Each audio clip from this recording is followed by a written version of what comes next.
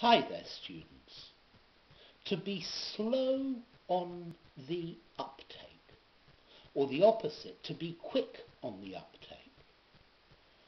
Okay, let's see. To be slow on the uptake, not to be able to understand something quickly, to understand probably something new. So normally when learning languages, young people are much quicker on the uptake.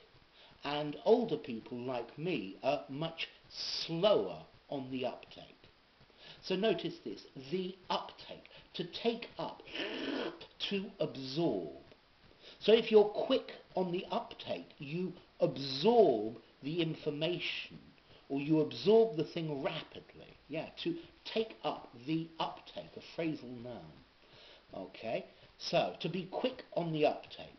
Yeah, I think most of my students are pretty quick on the uptake. They understand and absorb the new information that I give them very, very rapidly. Okay? So, to be slow on the uptake or to be quick on the uptake? Yeah. If you enjoyed the video, give it a rating, subscribe to my channel, and I'll see you soon. Bye for now.